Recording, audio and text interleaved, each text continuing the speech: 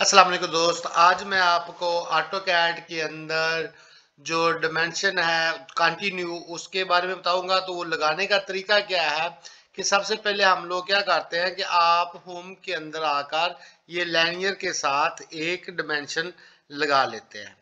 तो आपने एक डिमेंशन लगा ली, ये मैं आपके सामने लगा के दिखा रहा हूँ। तो अब देखो, मैंने डिमेंशन इधर से शुरू की और इस पॉइंट पे आया, ठीक है ना? तो आ, इसके बाद मैं क्या करूँगा? एनोनेट के अंदर आकर मैंने ये कंटिन्यू डिमेंशन जो इधर पड़ी हुई है इसको मैं सिलेक्ट करूँगा। तो देखो ये वाला फेस जो है वो सिलेक्ट हो गया और इस साइड से मैंने जो जो लाइन लगानी उस फेस से मैं उनके जो पॉइंट है उनको क्लिक करता जाऊँगा और वो आपकी जो कंटिन्यू डिमेंशन है वो जो है वो लगती जाएगी। तो दोस्तों, ये कंटिन्यू डिमेंशन वहाँ पे आती है जहाँ पे आपने स्पीड से कोई काम करना दोस्त, ये देखो, ये सारी सारी डिमेंशन लग गई है। तो मैं इसको दोबारा आपको बताता हूँ। इसमें लगाना इस तरह होता है कि आपने जिस पॉइंट से स्टार्ट किया, एक एग्जांपल है कि मैं क्या करता हूँ, मैंने इसको होम के अंदर आकर ये लाइनियर के साथ अगर मैं इधर से स्टार्ट करूँगा इस पॉइंट से और इस पॉइंट पे छोड़ूँगा तो जो आपका कंटिन्यू डिमेंशन है कंटिन्यू जो आपका स्टाइल है डिमेंशन का तो वो वाली जिधर से आपने छोड़ा है, वो इस साइड पे शुरू होगी। अगर मैं एक एग्जांपल है कि मैंने वही लाइन जो है, वो इधर से लगाई और इस साइड पे छोड़ी तो मैंने इस साइड पे छोड़ा तो वो आपकी कंटिन्यू जो डिमेंशन है, वो इस साइड से स्टार्ट हो जाएगी। तो मैं ये देखो, मैं आपको बताता हूँ तो ये देखो, ये यहाँ से शुरू होगी। तो आपने जो पहला पॉइंट है वो पॉइंट से नहीं, जो जहाँ पे आपने दूसरा पॉइंट जो है, वो क्लिक किया तो वहाँ पे जाके आपकी कंटिन्यू जो डिमेंशन है, वो उसको सिलेक्ट कर लेगी।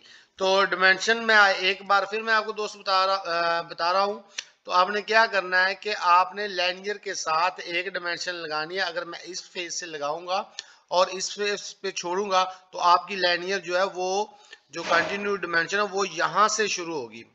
तो अगर यहाँ से शुरू होगी तो इधर को जाएगी, और अगर आपने इस पॉइंट से स्टार्ट किया और इस पॉइंट पे एंड किया लाइनियर वाली जो डिमेंशन है तो इधर से शुरू होगी। तो मुझे बेसिकली चाहिए कि मैं ऊपर को जाऊँ तो मैं क्या करूँगा, ये मैं लाइनियर के साथ मैं ये पहले वाली डिमेंशन जो है, ये मैं खुद लगा देता हूँ। तो दोस्त, ये देखो मैंने आपके सामने पॉइंट के ऊपर ये जहाँ पे सतारह फीट आ रहा है, ये लगा दिया। तो अब दोस्तों ये है कि मैंने ये ये मेरा पहला पॉइंट था, ये मेरा दूसरा पॉइंट है। तो अब वो क्या करेगा? अगर आप कंटिन्यू डिमेंशन लगाएँगे तो वो इसको पकड़ेगा। मैं आपके सामने करके दिखाता हूँ। तो आपने क्या करना है? एनोनेट के अंदर जाकर ये लैनियर का जो सिंबल पड़ा हुआ है, जो कंटिन्यू है डिमेंशन है। ये कंटिन्यू डिमेंशन है। ये देखो, उसने उसको पकड़ लिया। और अब आगे जाके मैंने जस्ट अपने पॉइंट को क्लिक करना है और आपकी जो सारी की सारी डिमेंशन जो है, वो लगती जाएगी जो आपने पहली डिमेंशन लगाई है। उसको मद्देनजर रखते हुए और उसको फॉलो करेगी। उसके जो आपका जो दूसरा पॉइंट होगा। तो दोस्त, इसमें इस चीज़ का ख्याल रखना है कि ये जो कंटिन्यू लाइन है वो डिमेंशन जो है, वो हमेशा आपकी दूसरे पॉइंट को फॉलो करेगी, पहले पॉइंट को इग्नोर कर देगी। और इसके लाने का मकसद ये होता है कि ये एक ही सीध में और ये स्पीड से काम के करने के लिए ये लगाई जाती है और इसमें कोई मार्जिन नहीं बनता और ये एक दूसरे के ऊपर नीचे नहीं चढ़ती और इसका लेवल जो होता है, वो एक ही होता है। तो दोस्तों, मैंने आपको ये आज कंटिन्यू जो डिमेंशन है, उसके बारे में ब्रीफ किया तो मुझे उम्मीद है कि आप लोगों को समझ आ गई होगी।